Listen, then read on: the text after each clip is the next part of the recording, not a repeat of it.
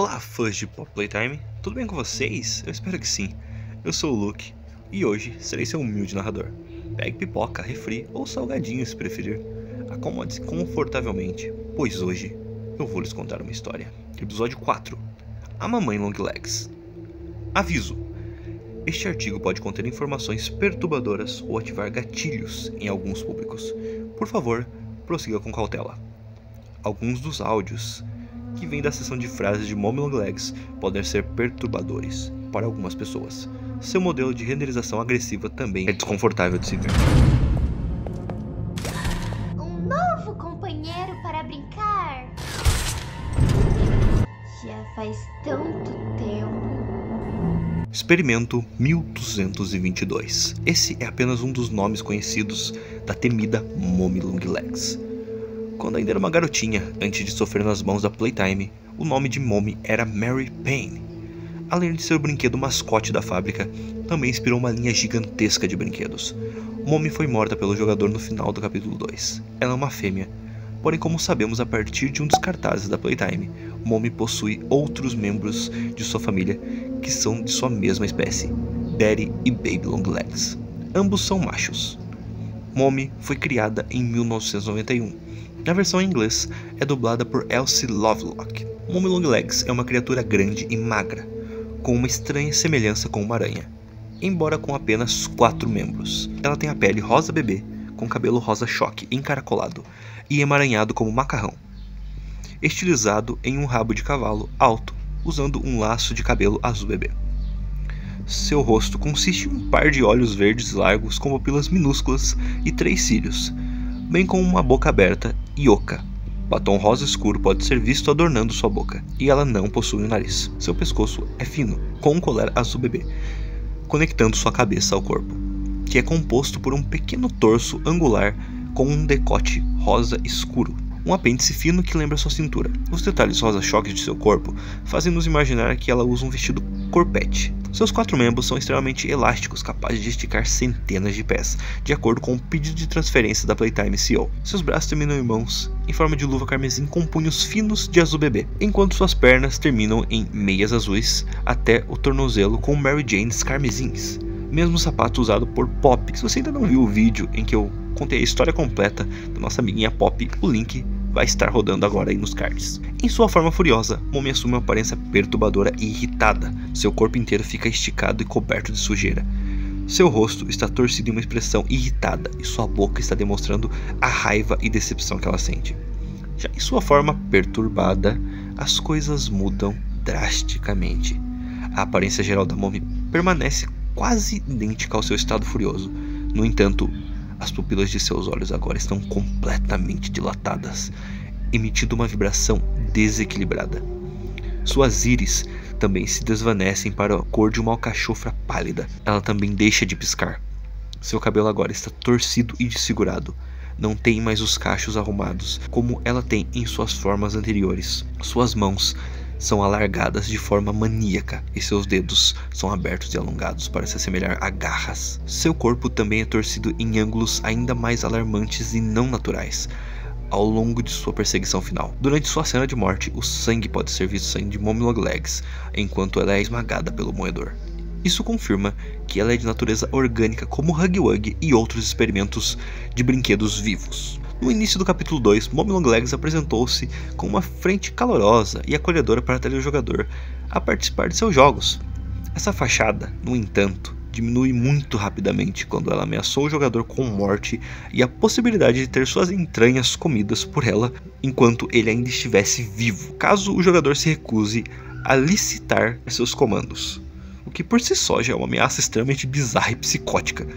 Se eu tivesse ouvido isso, eu já teria saído lá correndo há muito tempo. Ao longo da variedade de jogos que o jogador tem que jogar para vencer e sobreviver, Mommy Long Legs exibe uma mistura sinistra de simpatia infantil e mentalidade desequilibrada, tornando seus movimentos imprevisíveis. Ela tende a mascarar suas frustrações com uma fachada infantil e amigável, para esconder sua raiva crescente quando o jogador ganha mais um de seus jogos macabros, ou quando o jogador escapa da área de estátuas, fazendo com que Momi tentasse desesperadamente atrair o jogador de volta para a área do jogo, com a falsa promessa que lhe daria o código do trem. Através dos eventos do capítulo 2, Momi Longlegs obriga o jogador a participar de vários e vários jogos, nos quais ela afirma que entregará pedaços do código do trem se ele vencer os jogos. Momi, no entanto, faz tudo ao seu alcance para evitar que o jogador vença, como manipular os jogos em que o jogador é forçado a participar.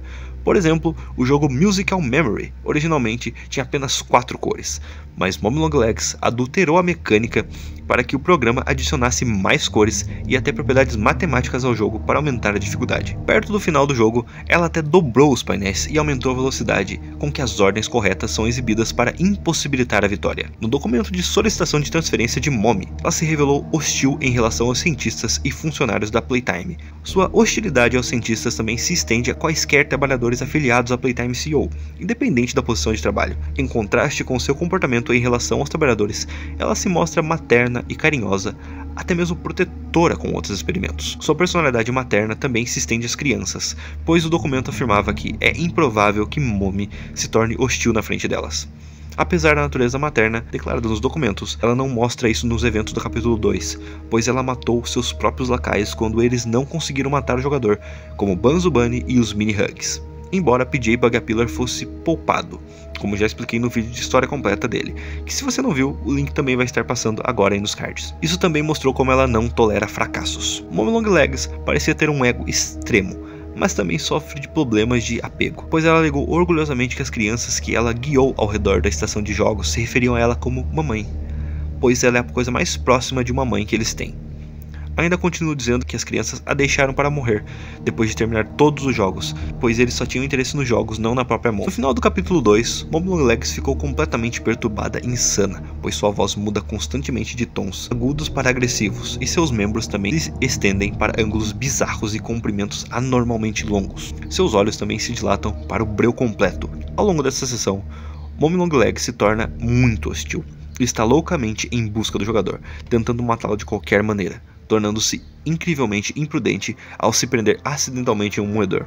Algo que o jogador aproveitou para colocar um fim em sua fúria. Através das várias vezes em que ela persegue o jogador, ela pode ser ouvida rindo sinistramente em voz baixa e cultural. Aparentemente, Mommy Legs temia profundamente um experimento em particular, o Experimento 1006, conhecido como o Protótipo. Quando ela é arrastada para o moedor, ela grita em agonia o que nos mostra que ela sabe qual era o objetivo dele. O brinquedo Mommy Long Legs foi criado em 1991, anunciado com seu plástico elástico exclusivo. Sua contraparte viva foi confirmada como um experimento. Em um dos arquivos de solicitação de transferência, Mommy Long Legs foi revelada como um experimento sob a custódia da Playtime CEO, sob o pseudônimo Experimento 1222 como sua antiga identidade, sendo Mary Payne. Bom, me apresentá-la pela primeira vez enquanto caminhava pelo hall da Game Station, enquanto o jogador tenta escanear sua mão vermelha do Grub Pack. Mom estica seu braço e rouba a mão. Ela então explica como ela quer jogar um jogo, já que ela não brinca há anos. Ela também provoca Pop no processo imitando sua voz, já que ela cobriu a boca de Pop com teia, impossibilitando a mesma de falar. Um Legs promete o código do Train Station, se o jogador jogar os três jogos vistos na Game Station. Mommy é encontrada pela segunda vez quando o jogador está na plataforma de teste incognitivo de memória. Ela explica como não vê o jogo há tantos anos e também as regras do jogo. E elas são bastante simples. Você deve clicar nos botões que a tela piscar. Se falhar, Banzo Bunny será abaixado lentamente. Se for bem sucedido, Banzo voltará para cima.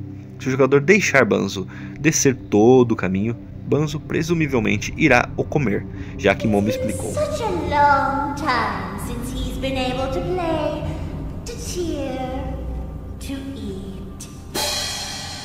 Depois de concluir com sucesso o estressante teste, Momi dá ao jogador a primeira parte do código. Assim que o jogador sai da sala, Momi, num surto de sua mente psicótica, mata de forma brutal e maligna Banzo por falhar com ela. Momi é encontrado pela terceira vez quando o jogador entra no jogo Waka Awagi. Ela entra em detalhes de como os mini-hugs costumavam ser amarrados a uma corda para evitar que eles escapassem e se aproximassem muito das crianças.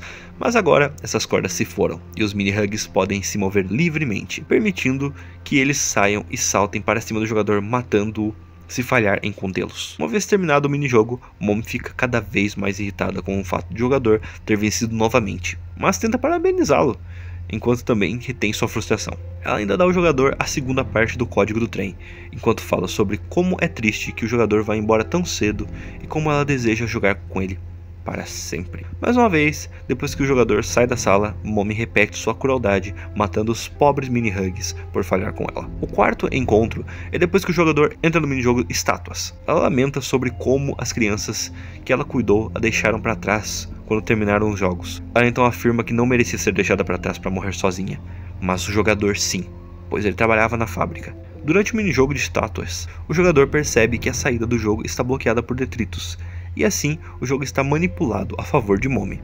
Ele então acaba roubando e fugindo para a área de visualização, onde os cientistas costumavam ficar observando as crianças que estavam no teste para conseguir escapar do jogo. Encontrando o jogador mais uma vez, Momi começa a gritar com ele, alegando que ele trapaceou e dizendo que ela pediu ao jogador para jogar limpo. Momi então diz que ela odeia trapaceiros e que há um último jogo chamado Hide and Seek, ou esconde-esconde. Ela então começa a contagem regressiva a partir de 10. No entanto, ela para no número 2. E o jogador deve correr e fugir antes que essa contagem termine e Momi venha atrás dele. Nos próximos quadros, Momi não é ouvida ou vista. Depois de puxar quatro alavancas coloridas, o jogador abre uma porta e Momi corre em direção a ele por baixo da área de onde eles abriram a porta. Ela eventualmente persegue o jogador pelas instalações subterrâneas até chegar à porta de saída de emergência. Quando o jogador abre a porta, Momi corre atrás dele. No entanto, ela está tão ansiosa para pegá-lo que acaba se atrapalhando e ficando com sua mão presa em um moedor. O jogador então puxa a alavanca do moedor e ele começa a puxar Momi. Ela então começa a uivar de dor e protestar que o jogador não pode fazer isso com ela, mas suas tentativas de se libertar são inúteis, pois acaba ficando cada vez mais presa no moedor. Ela é morta quando o moedor esmaga seu abdômen. A metade superior de seu corpo se desconecta da metade inferior e cai no chão.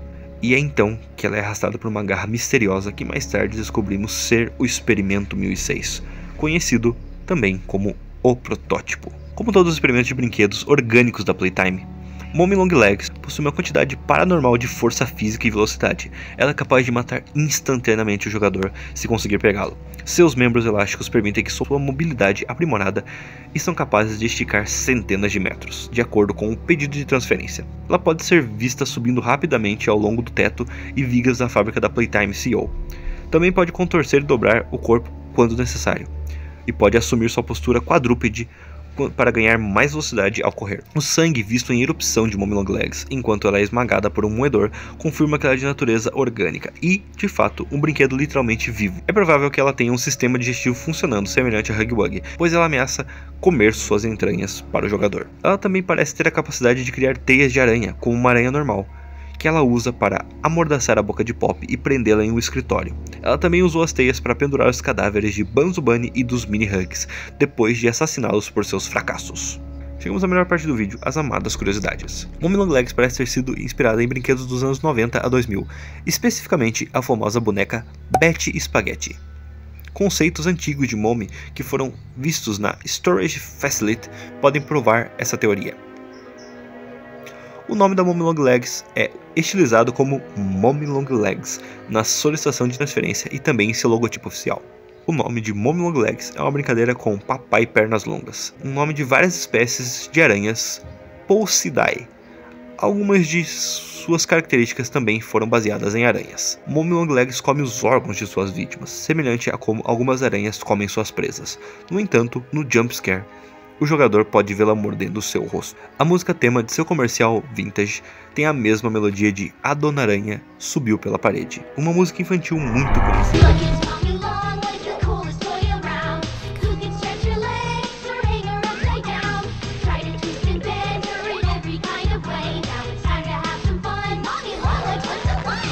With Playtime Co.'s new patented elastic plastic, you can stretch, pull, and twist Mommy in the craziest ways.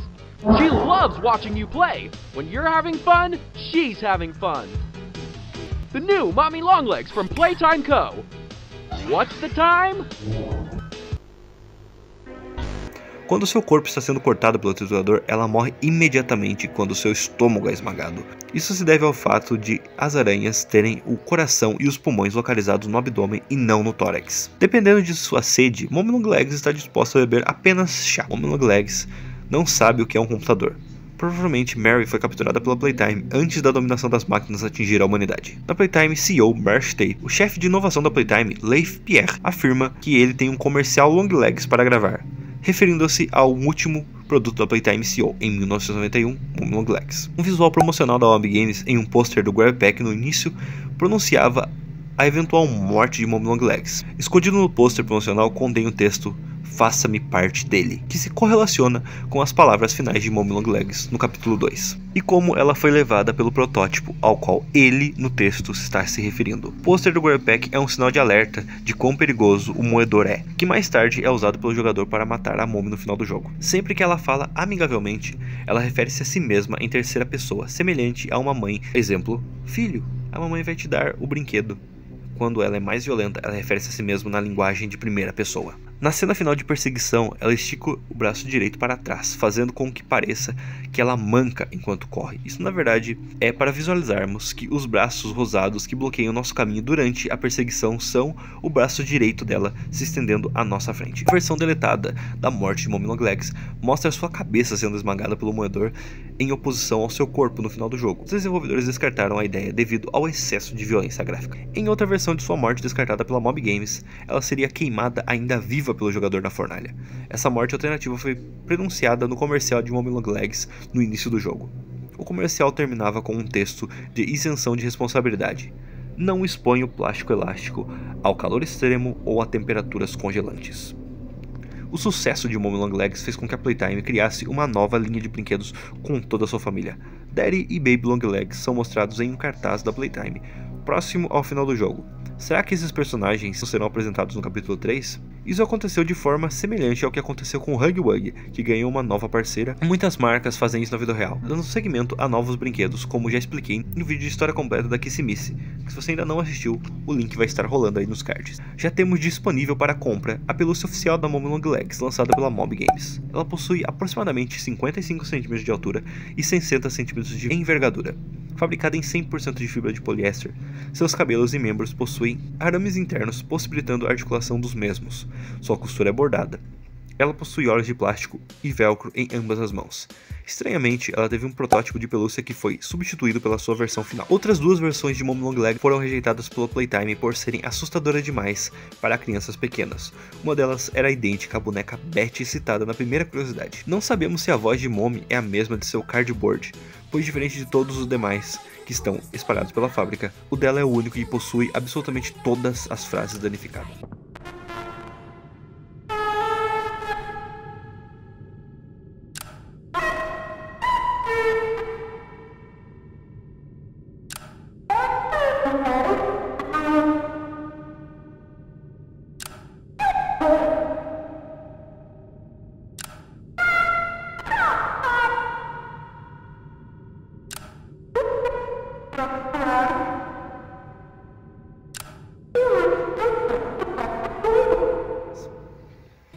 Mas e aí?